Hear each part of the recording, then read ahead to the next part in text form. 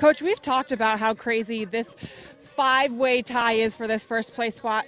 Did this win put your mind at ease a little bit, knowing that your team did everything they could to put themselves in the best position? Yeah, I mean, the only thing we can control is this game, and we can controlled it. So we did everything that we did to, could do today to put ourselves in the best place um, for the seeding. So I'm just really proud of what we accomplished today, and now kind of other things need to fall into place. But we took care of what we needed to take care of. And you had seven players score today. What does that say about this team? I think the offense just kind of keeps working that chemistry, and they get they get the trust going. And I think we're just at a place again in the season where they're finding each other, they trust each other, and everybody's doing their job. Thanks so much, Coach. Yeah.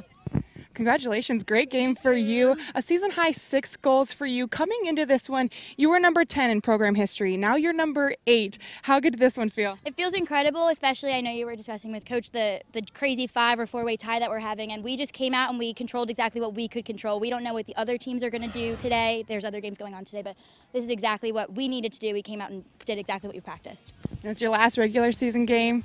How did it feel to tap it off with a win? It felt great knowing it could be my potentially last time playing on this field. I just went out with a bang. So thanks so much. Thanks. Back to you guys.